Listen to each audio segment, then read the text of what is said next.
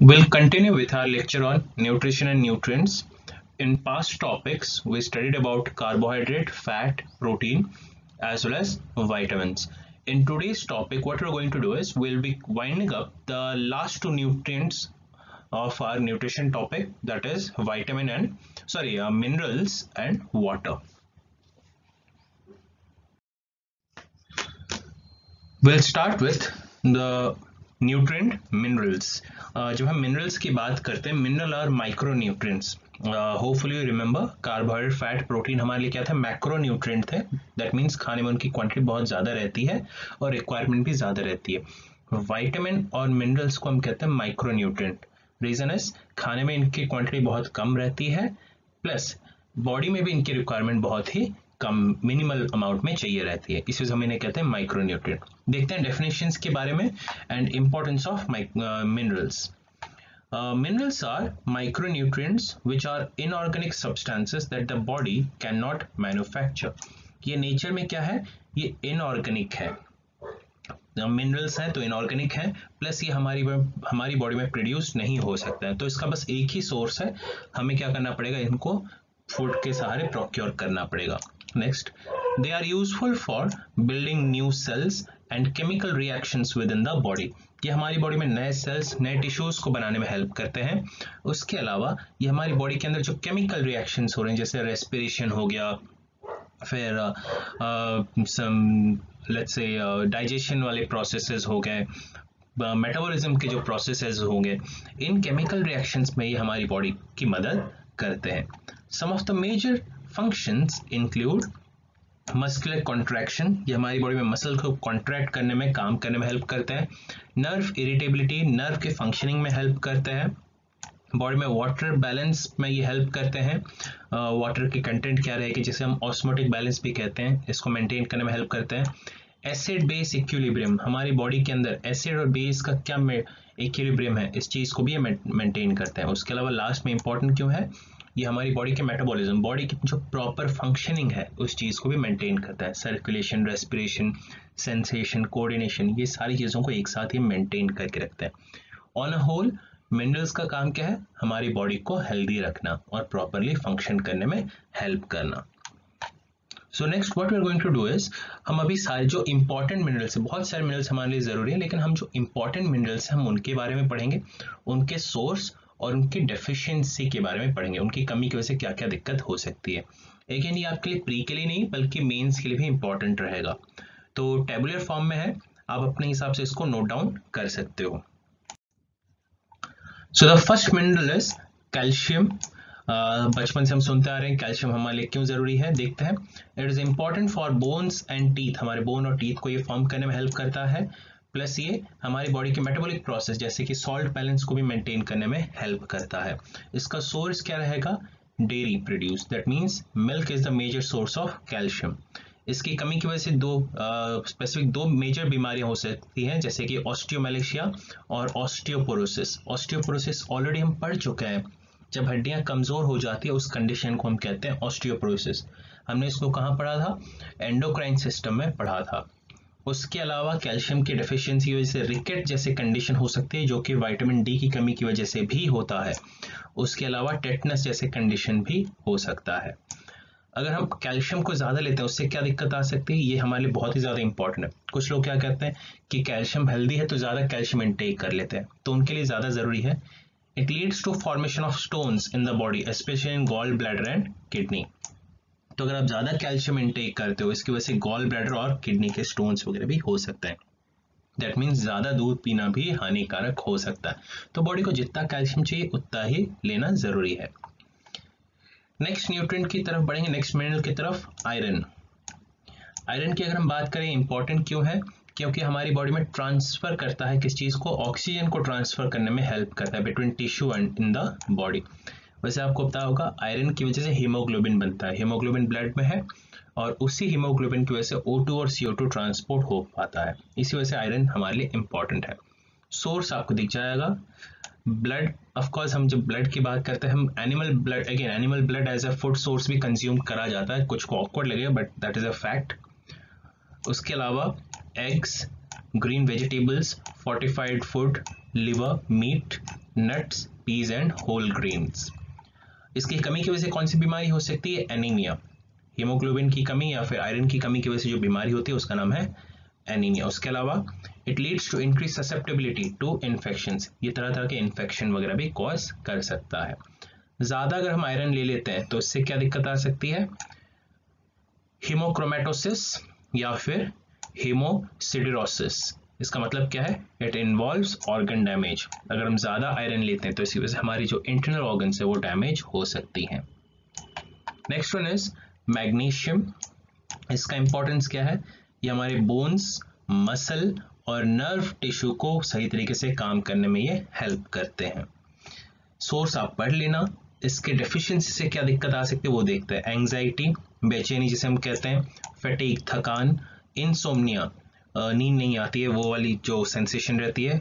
Muscular problems nausea vomiting जैसे sensation pre menstrual problems जो females में मेंस्ट्रुअल साइकिल में दिक्कत वगैरह आ सकती है।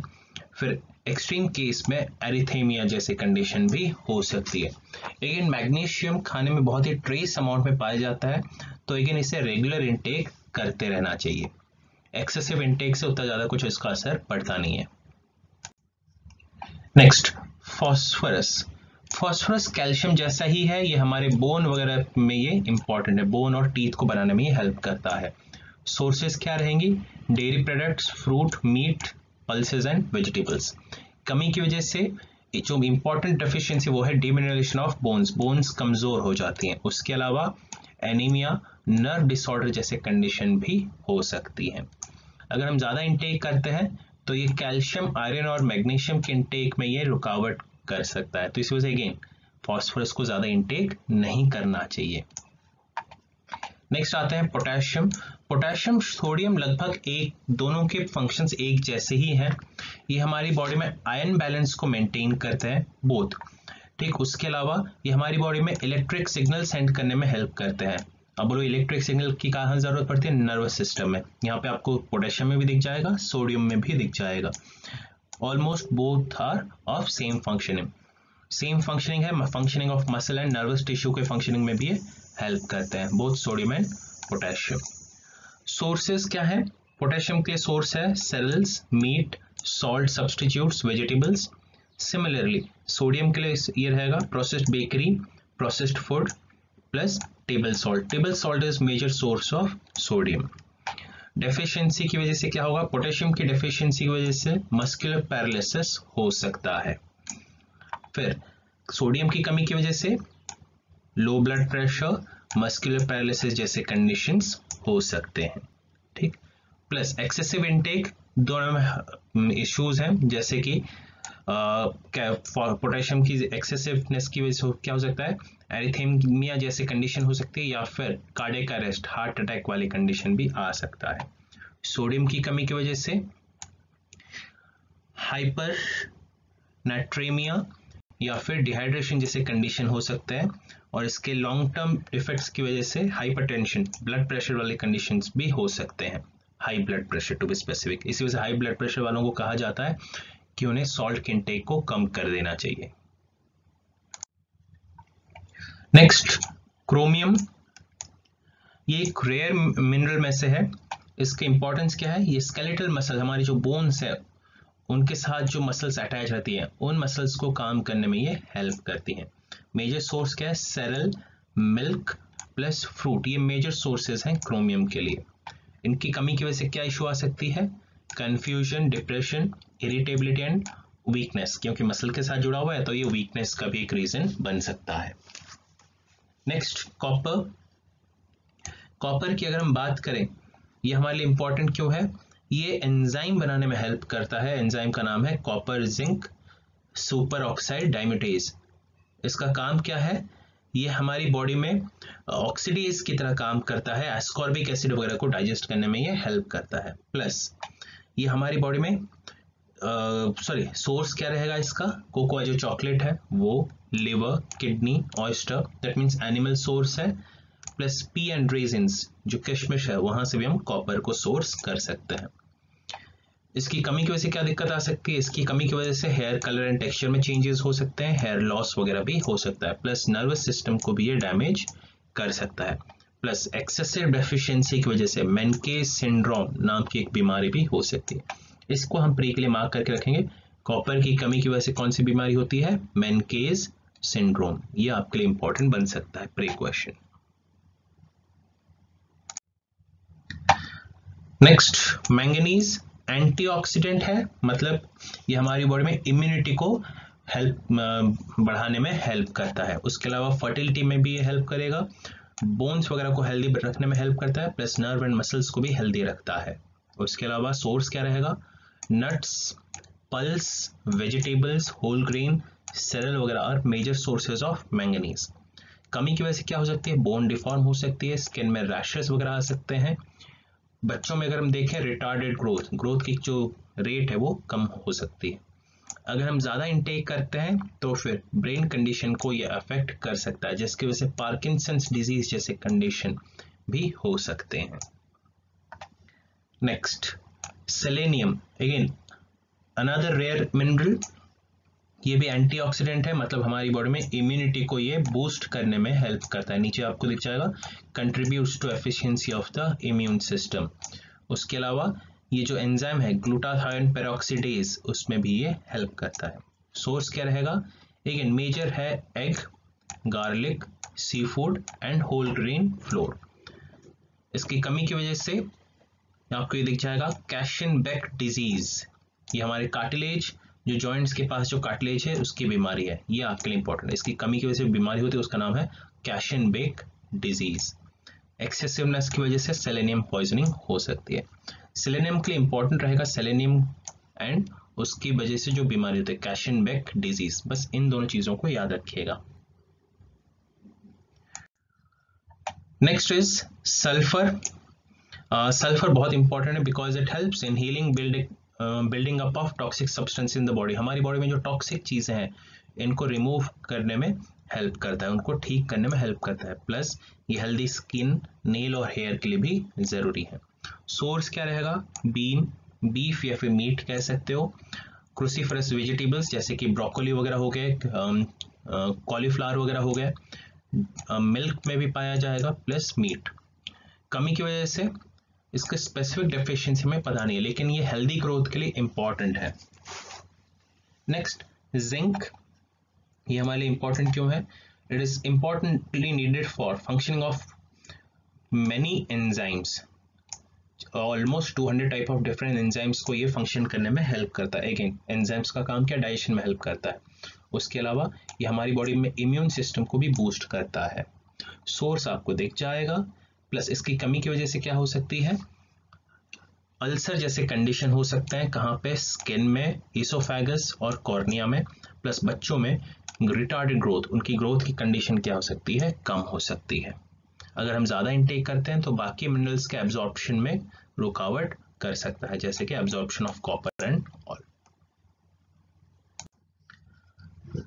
also these were your minerals that were important for us उसके अलावा लास्ट आता है लास्ट न्यूट्रन की तरफ़ वाटर जब हम वाटर की बात करते हैं वाटर का एक और भी नेम है न्यूट्रिशन टॉपिक में, इसे बॉडी का रेगुलेटर कहते हैं, क्योंकि हमारी बॉडी के सारे प्रोसेस को रेगुलेट करने में ये हेल्प करता है। देखते हैं वाटर के बारे में। Human body is made up of two third water लगभग सबको पता है, हमारे बॉडी का दो तिहाई हिस्सा पानी से बना हुआ है। Its acts as a regulator मतलब क्या है? It is vital for every body function such as digestion excretory and circulatory ये हमारी बॉडी रेगुलेटर क्यों है? क्योंकि हमारी बॉडी के जितने भी फ़ंक्शंस हैं, उनके लिए बहुत ही ज़्यादा इंपॉर्टेंट है। पानी की कमी की वजह से इन फ़ंक्शंस में कहीं ना कहीं कमी आएगी, दिक्कत आएगी। इट्स डेफिशिएंसी कॉजेस डिहाइड्रेशन इसकी कमी की वजह से जो बीमारी होती है, उसे हम क्या कहते हैं? Dehydration which in severe cases lead to malfunctioning of all systems ज़्यादा अगर सीवियर डिहाइड्रेशन हो जाता है तो उसकी वजह से हमारी बॉडी के सारे सिस्टम्स फेल हो सकते हैं अफेक्ट हो सकते हैं।